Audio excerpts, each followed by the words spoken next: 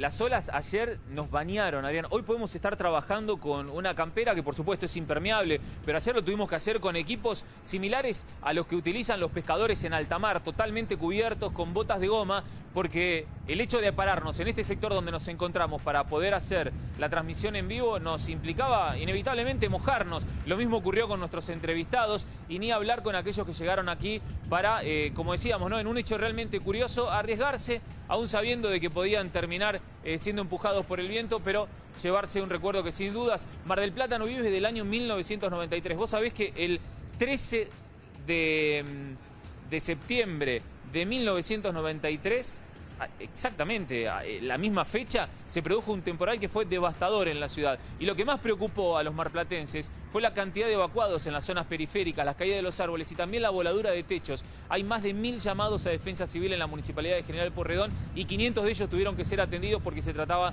de temas realmente serios.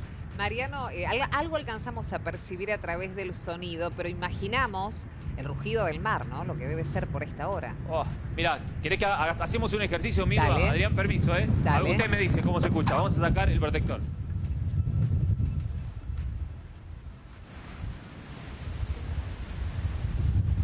Sí, vos sabés que parecen no truenos. llegan a percibir el sonido del viento. parecen truenos por momentos. La verdad es esa, eh, Mariano. Esto es lo que nos... A nosotros se nos acaba de volar el trípode, por ejemplo, porque el viento nos lleva. Eh, es más, la postura es esta, miren. Eh, pierna izquierda apoyada por las dudas para, para hacer, eh, estar bien firme, acá agarradito y que no te lleve el viento. Pero más allá del viento, lo, lo que realmente eh, se siente es el frío. Ya la nariz congelada.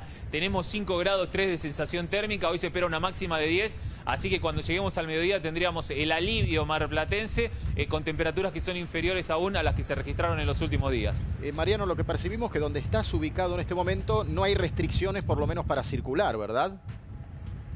Exacto, es un buen punto para que, que, estás observando, Adrián, porque lo primero que hacen las autoridades de la ciudad es cerrar el paseo costanero desde el puente que se inauguró para la Cumbre de las Américas en el 2005 en Punta Iglesia, a pocos metros del ingreso al muelle de los pescadores, hasta Alfonsina Storni, que es aquella playa que se ve de fondo. Generalmente este paseo está cerrado. ¿Por qué? Porque el mar invade literalmente la vereda, el asfalto y llega hasta el sector rocoso. Eh, hasta el momento han decidido no cerrarlo porque, como te decíamos, lo peor ya pasó. Ayer por algunas horas de la tarde, que fue el pico eh, de, intensidad del viento y de nivel de olas en altura, sí se había cerrado, pero finalmente el paseo eh, tuvo su apertura aproximadamente a las 7 de la tarde.